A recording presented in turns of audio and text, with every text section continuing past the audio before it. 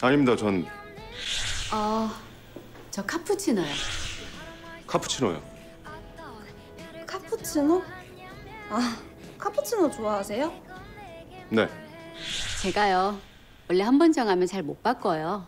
그래서 맨날 카푸치노예요. 전 커피숍에 오면 카푸치노만 마십니다.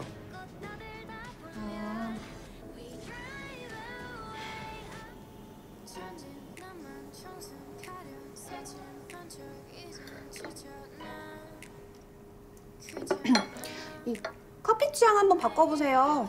라떼도 맛있어요. 음, 여름이니까 아나. 아, 아까 뭐죠?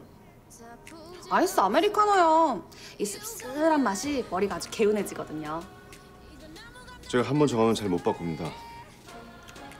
하실 말씀 어서 하시죠. 제가 일이 좀 많아서.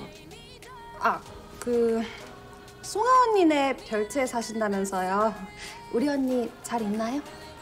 네, 잘 계십니다. 사돈 아주머니도? 네, 안부 좀 전해주세요. 제가 많이 걱정하고 궁금해하고 있다고. 그런 일이라면 직접 하셔도 될 것 같은데. 그래서요. 저도 한번 주말에나 가보려고요. 네? 아, 이, 이번 주말은 안 오시는 게 좋을 것 같은데 그분들이 좀 바쁠 것 같아서. 네? 아니 이 비서님이 송아 언니 스케줄을 뭐 다 꿰고 있으세요? 그럼요. 이웃인데요.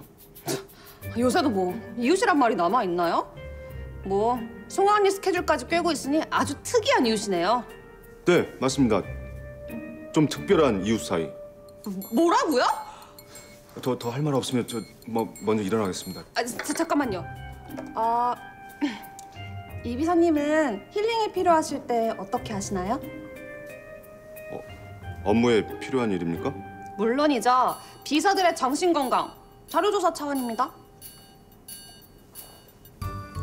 뭐 뭐요? 뭐 선행이나 드라이브 아니면 뭐 맛집 탐방 그런 거 있잖아요. 비서들 모임이 곧 있을 예정인데. 글쎄요. 저한테 힐링이라면 제 딸입니다. 괜찮으세요? 아, 네, 네, 네, 괜찮, 괜찮아요. 아, 근데 지금 뭐라고 하셨어요? 제 딸이 제 힐링이라고 했는데요. 딸이 있으셨어요?